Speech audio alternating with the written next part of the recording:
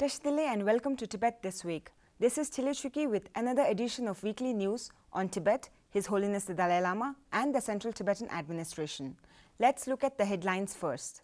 Help me fulfill my commitments. It's my best birthday gift, says His Holiness the Dalai Lama on his 84th birthday. His Holiness the Dalai Lama advises young Tibet Corps volunteers to preserve the distinct Tibetan culture. History made as Tibetan national flag unfurled and hoisted permanently in Italy.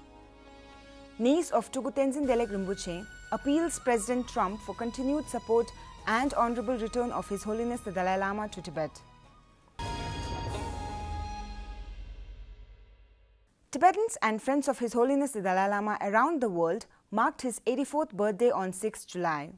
In a show of gratitude, the Tibetan spiritual leader thanked his admirers for the warm greetings on Wednesday last week. I am now 84 years old, but I hope to be able to celebrate the occasion with all of you for many more years to come, His Holiness the Dalai Lama wrote, while also reminding his followers to act on what he calls his three lifelong commitments. I have said before that if you would like to make me a birthday gift, the best you can do would be to help me in fulfilling my three commitments, said His Holiness.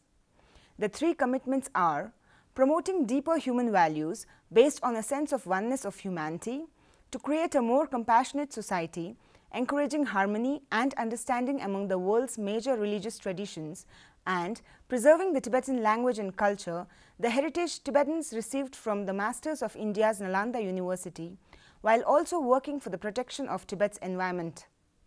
His Holiness is also committed to reviving what he calls the ancient Indian Nalanda wisdom in modern India. The Tibetan spiritual leader, His Holiness the Dalai Lama, granted an audience to a young group of Tibetans volunteering under the Tibet Corps program at various departments of Central Tibetan Administration at his residence on Friday last week. Speaking exclusively to the group, His Holiness acknowledged and commended the volunteers for their dedication to serve the community and emphasized the importance of Tibetan culture, language and tradition and counseled them to preserve the distinct Tibetan cultural heritage and language. The group consisted of 23 young volunteers who are part of Tibet Corps, a program initiated by the Central Tibetan Administration to encourage Tibetan university students, professionals and retirees to serve the Tibetan community through voluntary service in order to strengthen the community.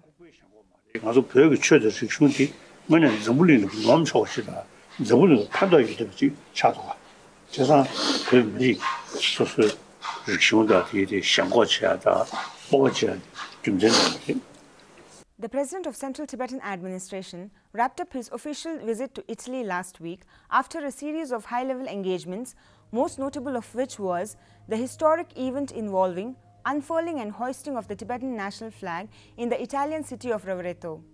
The city of Rovereto hoisted the Tibetan national flag at the Bell of Peace on Saturday last week. The President of the Central Tibetan Administration, Dr. Lobsang Sangay, joined Regent Senator Alberto Robol, Mayor Francesca Valduga, and Mr. Roberto Pintor, Tibet supporter in the official ceremony. It was an emotional moment for Tibetans as the magnificent multicolored flag unfurled to the tune of Tibetan national anthem and in the backdrop of mountains that resemble the enigmatic mountains back home in Tibet.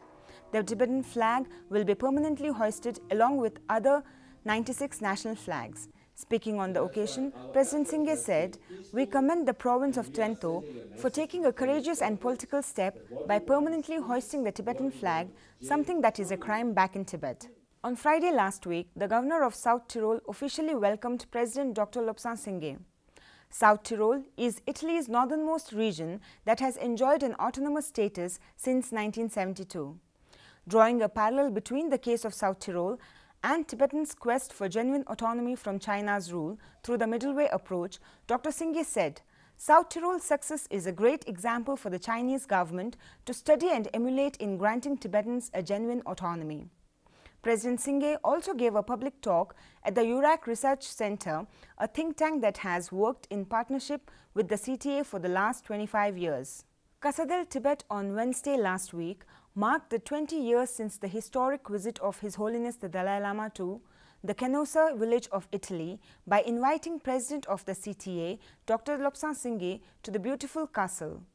Mayor of Canossa, Luca Bolondi, greeted President Sangay in his ceremonial tricolor flag sash. Recognizing the region's important role in hosting dialogues, that is, the historical encounter between Pope Gregory VII and Emperor Henry IV, Mr. Bolondi said, the mayor's office wants to help dialogue happen. While sharing the tragic story of Tibet, President Sangay remarked, We hope the dialogue spirit of Canossa will pass on to the cause of Tibet.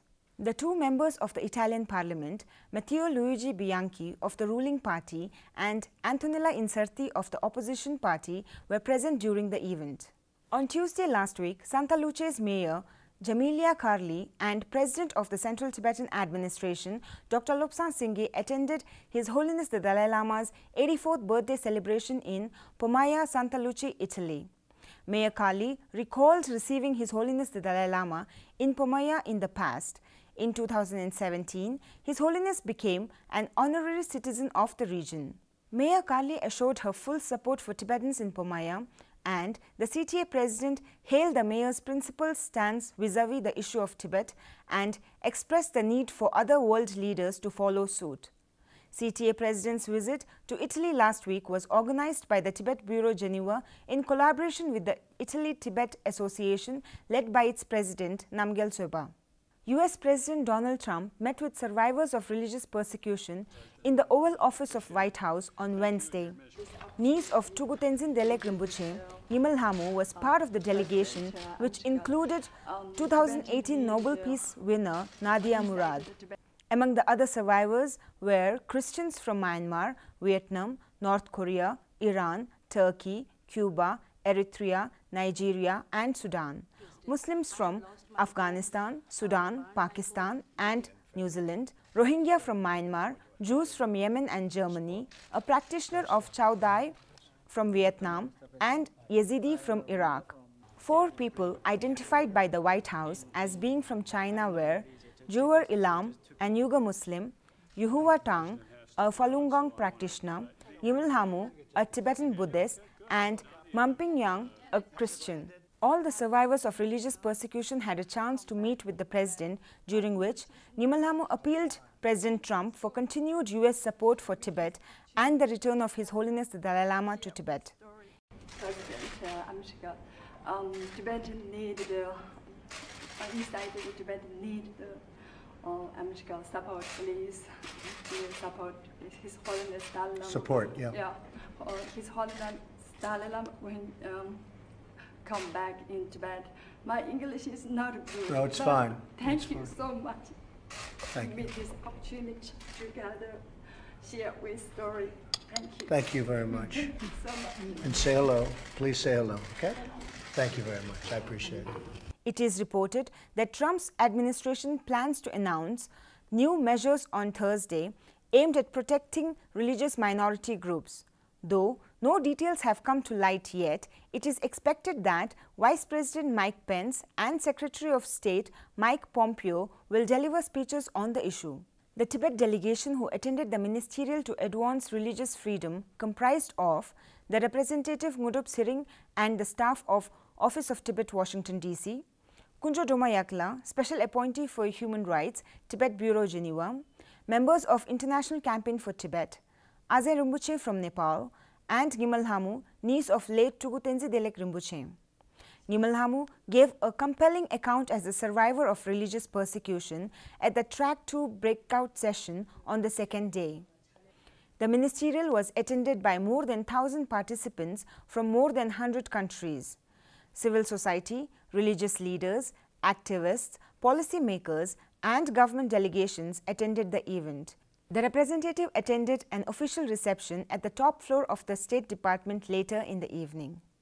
So much for this week's edition of Tibet This Week. See you next week and have a great weekend.